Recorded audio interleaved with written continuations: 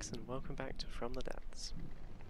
So I know that last time I said that I was going to start a campaign, and uh, I really did mean to. I even started a campaign just to see how it was.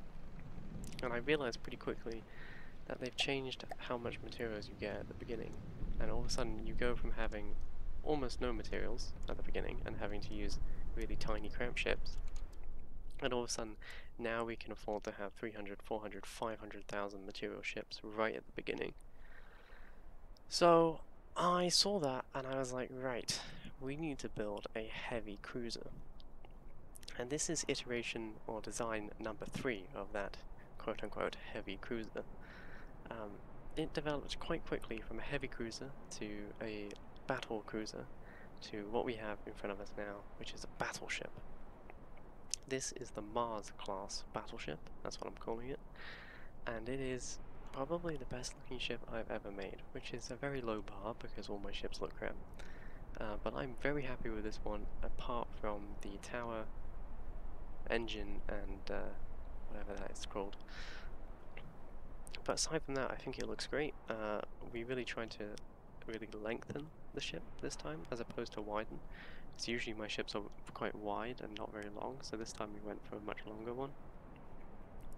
We tried to uh, add this little bulge at the bottom, like most ships actually do in real life, and I think it looks a lot better. And uh, I reined myself in a little bit on the armor. The price is 460,000, so it's definitely not a heavy cruiser. This is definitely battleship territory. Anything above 500,000 is a dreadnought, so we're quite close there. Um, I was really hoping that our battleship would have three of these turrets on the front, but clearly that's reserved for dreadnoughts only. So let's just go through the ship. First thing and the thing that I'm most proud of is we finally got the PIDs working and this ship floats single-handedly by its propellers. It also stops it from pitching, it stops it from yawing, it stops it from rolling. Uh, not yawing, you can still yaw, obviously. Um, but it makes it really stable, and uh, should we lose engine power for whatever reason, it can float on its own just fine. But this is just really useful. Um, the main weapons of this ship are our cram cannon turrets, obviously. Uh, we've got four six-barrel guns. Uh, they're all 2,000 millimeters. They all have exactly the same pellet number, which is a mistake I made in my previous designs. They had different pellet numbers. Uh, they've got a uh, penetration depth fuse of 2 meters. As you can see, they can punch through a significant chunk of armor. And uh, this center one has 84 EMP. Oh, we're moving for some reason. Let's uh, stop that. So uh, it can do quite a significant amount of EMP damage. I also put some of the barrels inside the turret, so it looks a little better. It doesn't look so uh, noodly anymore. So for our secondary armament, our secondary armament to engage other capital ships, I might add, uh, are these advanced cannon railguns. Now because these are my railguns, obviously the sh shell they fire is heat because that makes perfect sense. Uh, but I'm very happy with the shell. It's just an HE shell. That is it. Um, fired through railguns, which accelerate the shell up to 700 meters per second. And it's got enough elevation that should be able to target uh, planes as well, just in case. Now aside from these uh, railgun turrets, we have uh, two turreted uh, torpedoes mostly just to use up the space on top here. And then we've got eight of these uh, flak guns here, firing actual flak shells, I might add. Instead of my usual heat shells, uh, which pained me a lot, but these will do significantly better against uh, aircraft, and they will provide us a significant amount of protection. On top of here we've got these uh, close defense things to shoot at cram cannon shells, but our main cram cannon defense are these lasers at the front here in the bow. A little bit vulnerable in the bow, uh, but they each drive one of these, and two of them drive these two uh, respectively. So it means that we can block an entire crossbones volley standing still, and doing nothing, which is pretty cool. Now it does have shields, as you can see. Not a great place for my shields, but I tacked them on at the end. I just haven't turned them on yet. Uh, even without the shields, it can still take on a crossbones, two crossbones, three crossbones, and a pilferer.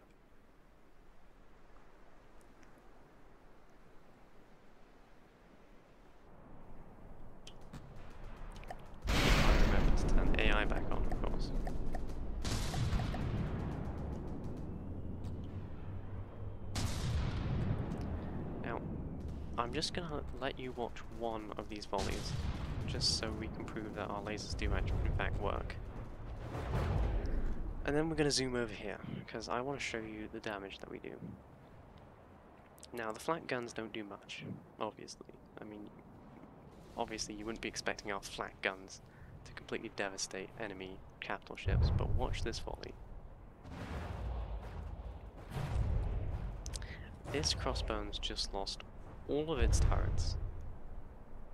I suspect this one is probably disabled, but lost all of its front turrets anyway, in one volley. And I might add that this fleet is worth probably 900,000 materials, and we're fighting with 450,000, so we could potentially have another one of those. Here's another one of our volleys coming in.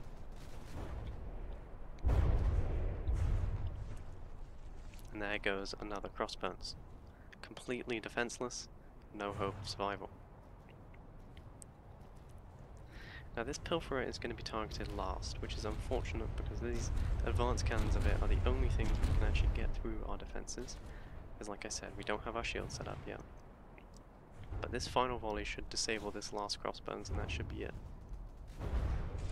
Oh, we only got them on the back there. As you can see, all of their back turrets destroyed in one hit though. That was from the EMP burst.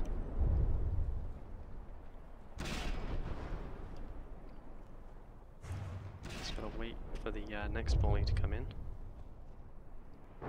Here it comes.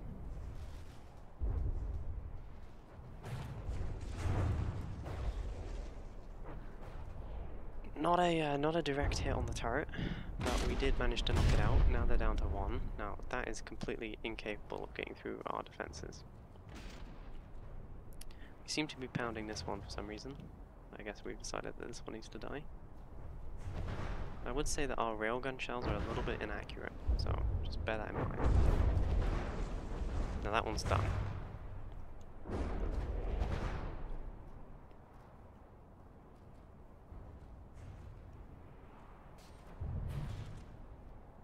Looks like the back turret is actually functioning. I don't think it's going to get through our defenses though. Yeah, there's one of them destroyed. Looks like this volley is going for this ship over here. There's one functioning front gun.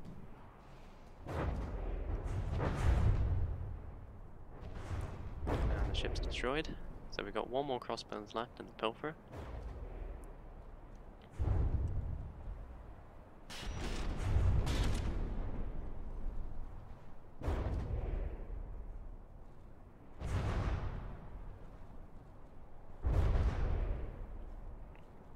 Lot, lots of flak, not a lot of damage, but lots of flak, lots of uh, keeping the pressure on.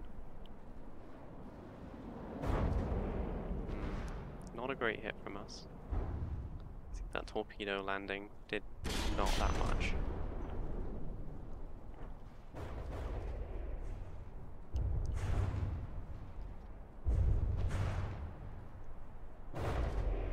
Oh, you see the uh, heat shell there? They always have the yellow, uh, yellow fragments. Alright, that one's done. So now we've just got the pilferer left. Will we make it in time before we land a single cram cannon volley and disable it in one shot? Yes, we did. Now it's broadsiding us, so I expect us to have some damage done to us. There you go, we hit one time with our cram cannons. And is it done? No, still fighting. One more hit will do it, I think. Actually, can hit it though. That's the current problem. As I can, as you can see, we uh, we do need to increase the accuracy modifier on our railguns there.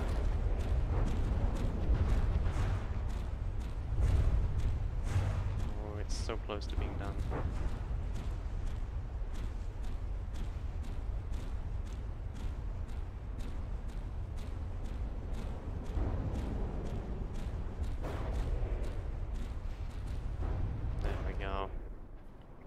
Alright, let's see what it did to us. As you can see, we've been uh, we've been slightly mauled. Um, we've only lost about 40,000 worth of materials. Uh, as you can see, most of the damage was done to this armor belt. Uh, they did get through the prow and around the side, and you know what that was? That was the Pilferer. That was the thing that we don't have any defenses against. Because none of the cram cannons would be hitting on this side. But overall, we didn't lose a single turret. Uh, all of our guns, aside from this little flak gun there, are still functioning, and the ship is still floating just fine. So I'm going to consider that a complete win. Let me just heal us up here, and we'll have a uh, we'll have one more battle, and then uh, and then we'll call it an, an, a day. So the final thing I want to try it against, because it's not really fair, because I've already tried that battle a few times, so I know that we were going to win that. There's no doubt in my mind. Final thing that we're going to do, uh, before I end this and finally actually start the uh, campaign, I'm going to install these. Pretty simple to do. Uh, I just want to turn our shield on when an enemy is in range. So if there is an enemy within 3,000 meters, we're going to increase that to as close as we can get before infinity. Let's say shield projectors, I want you to set drive. I'm going to set it to 6. I'm going to go to this one and I'm going to say enemy, and then I'm going to invert it. So if there is no enemy within 4,993 meters, then I want you to turn our shield projectors off. Right, so now we have our shields functioning, our shield projectors are working, we have our laser systems, we should be able to take on pretty much anything. I'm gonna say, gonna take on three crossbones, and we're gonna take on three pilferers. I don't think we're gonna win this, just to be clear. Uh, this is quite overwhelming odds for a single ship to take on. Uh, but we will just save the Mars class, just so we don't lose it in the case of a complete destruction. As you can see, we got some pretty good shield coverage there. Uh, only the barrel sticking out. Now, you've already seen what we can do to them, so let's just have a look at what we're doing. None of those are going to land anyway, so they don't really count. Uh, we seem to be reversing for some reason. Only known to the AI and from the depths.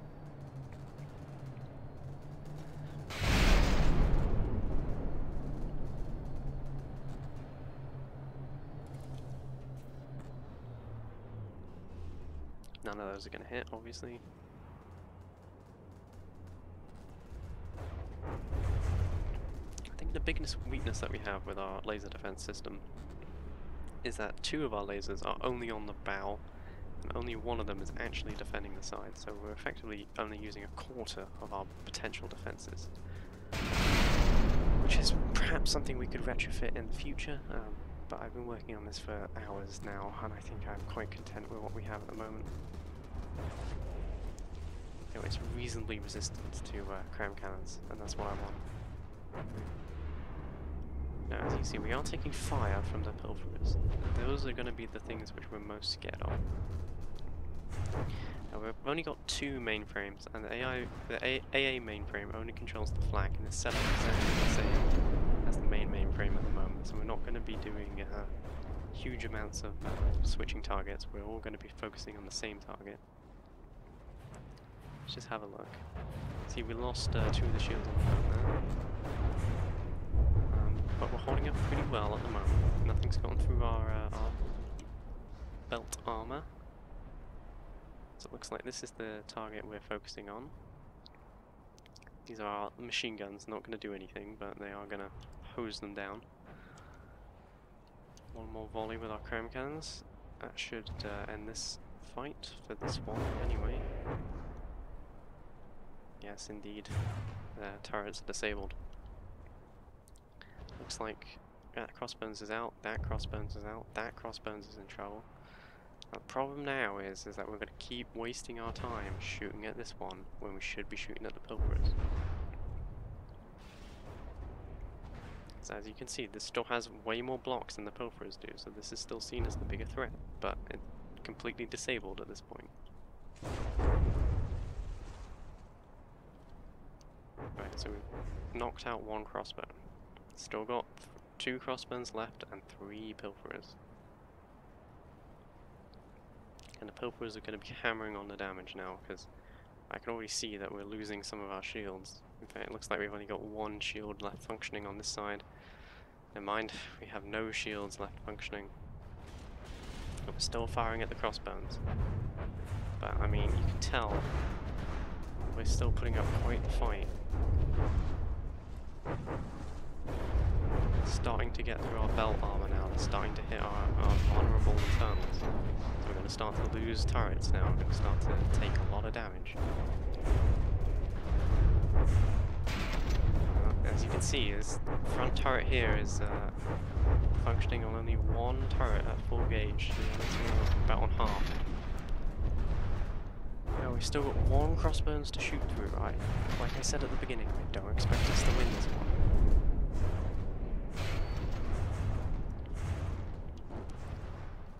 Uh, even our laser system's been completely disabled now, so we're relying on these little machine guns on the top here to deal with the cram cannon shells coming in. Ah. Ammunition locker. Yeah, that's it then.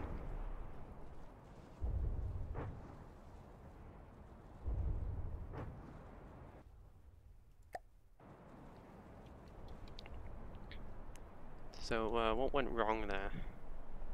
Looks to me like uh, they managed to tunnel through the uh, side armor, detonate the uh, advanced cannon, and then they either tunneled through to get to the uh, ammunition locker, or the detonation of the uh, advanced cannon caused the ammunition to explode.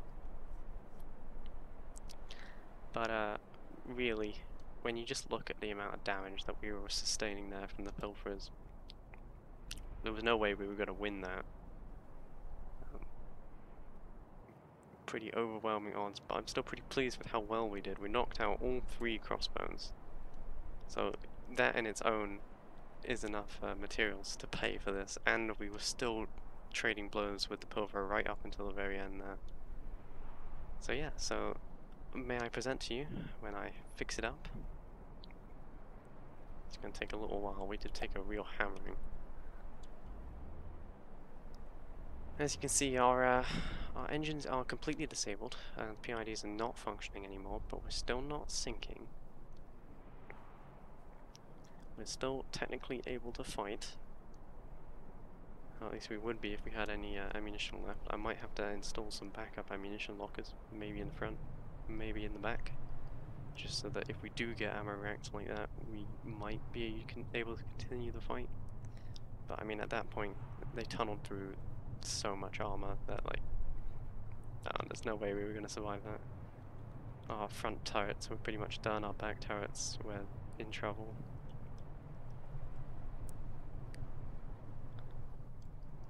It's uh, concerning me that it's not actually...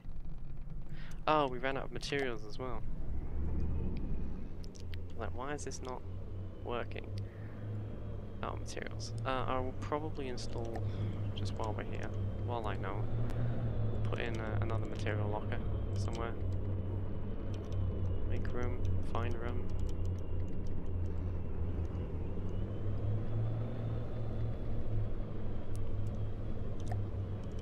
Another material locker and a uh, friendly vehicle repair bay. I'm gonna put in these cargo containers because they got quite a lot of hell. Never mind.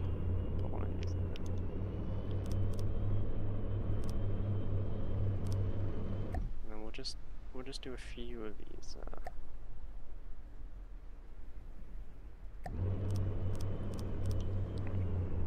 it's not that many, uh, but it should be enough. We're at 450,000 material, so this thing can effectively afford to replace itself.